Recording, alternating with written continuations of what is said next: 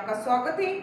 मैं प्रिया, आपके साथ। हैदराबाद में आज 16 सितंबर को कांग्रेस वर्किंग कमेटी की बैठक होने वाली है।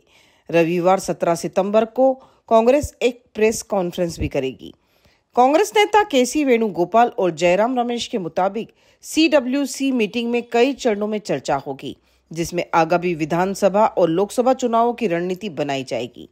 17 सितंबर को तेलंगाना दिवस भी होता है। इसको लेकर कांग्रेस ने कहा कि मोदी और तेलंगाना सरकार दोनों ही एक सिक्के के दो पहलू हैं। दोनों ही भ्रष्ट हैं। पिछले महीने 20 अगस्त को कांग्रेस अध्यक्ष मल्लिका अर्जुन खड़गे ने सीडब्ल्यूसी का ऐलान किया था। इसके बाद ये पहली बैठक है। इसी साल के अंत में मध्य प्रदेश, छत्तीसगढ़, राजस्थान, तेलंगाना और मिजोरम में विधानसभा चुनाव हैं। मध्य प्रदेश में भाजपा, छत्तीसगढ़, राजस्थान में कांग्रेस तेलंगाना में बीआरएस और मिजोरम में मिजो नेशनल फ्रंट भाजपा की सरकार है।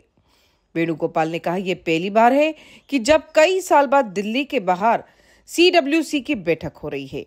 जैसे ही तेलंगाना राज्य बना, लोग जानते हैं कि भारत राष्ट्रवादी समिति कैसे सत्ता में आई। तेलंगाना सरकार देश का सबसे भ्रष्ट राज्य है। यहाँ के लोग सरकार से परेशान हो चुके हैं। हम तेलंगाना के लोगों को छह गारंटी देते हैं। उम्मीद है कि यहाँ चुनाव में कांग्रेस को बहुमत मिलेगा। इसी के साथ बने रहिए एशिया न्यूज़ इंडिया के साथ।